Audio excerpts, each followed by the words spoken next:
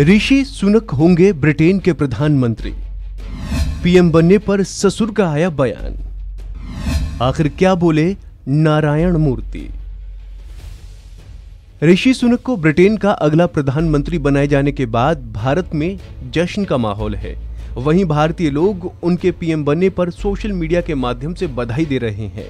इतना ही नहीं, ऋषि सुनक के पीएम बनने की खुशी उनके परिवार में भी देखी जा रही है। ऋषि सुनक के प्रधानमंत्री बनने पर अब उनके ससुर एनआर न्यायमूर्ति की भी प्रतिक्रिया सामने आई है। उन्होंने अपने एक बयान में अपने दामाद के इस उपलब्धि पर खुशी जताते हुए कहा कि हमें उन पर गर्व है। हम उनकी सफलता की कामना करते हैं।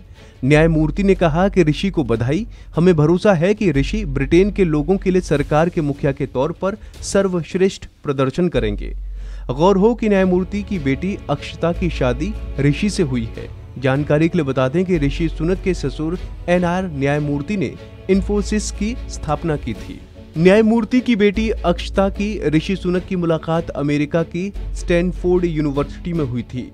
ऋषि ने वहाँ से एमबीए की डिग्री ली थी। साल 2009 में ऋषि और अक्षता की शादी हुई थी। ऋषि और अक्षता की दो बेटियाँ कृष्णा और अनुष्का हैं।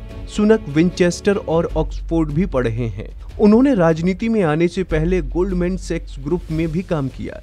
ऋषि के पुरखे अविभाजित भारत के पंजाब प्रांत से थे। उनके दादा गुंजरवाला के निवासी थे। बाद में वो अफ्रीका चले गए और वहाँ से ऋषि के माता पिता ब्रिटेन जाकर बस गए। गौर हो कि ऋषि सुनक ने ब्रिटिश पीएम पद की रेस में सबसे ज़्यादा 150 सांसदों का समर्थन हासिल किया है।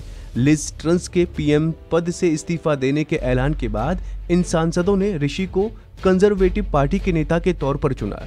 इससे पहले ब्रिटिश पीएम के चुनाव में ऋषि सुनक लिज ट्रस से हार गए थे। पहले वो पीएम बोरिस जॉनसन की सरकार में वित्त मंत्री थे। ऋषि ने ब्रिटेन का पीएम चुने जाने के बाद देश की आर्थिक स्थिति को संभालने को अपनी प्राथमिकता बताया है। अब ऋषि सुनक जल्द ही ब्रिटिश पीएम पद का पदभार ग्रहण करेंगे। बता दें कि इन दिनों ब्रिटेन आर्थिक बदहाली का शिकार है। इसके कारण ही लिज ट्रस को मात्र 45 दिनों में पीएम पद छोड़ना पड़ा है। उनकी जगह सुनक को चुना गया है। पीएम पद की शपथ के बाद सुनक ब्रिटिश पीएम के लंदन स्थित सरकारी निवास, सह कार्यालय, दस डाउनिंग स्ट्रीट में विधिवत कार्यभार संभालेंगे। तो ऐसे ही तमाम अपडेट्स के लिए आप बने रहिए वन इंडिया हिंदी के साथ।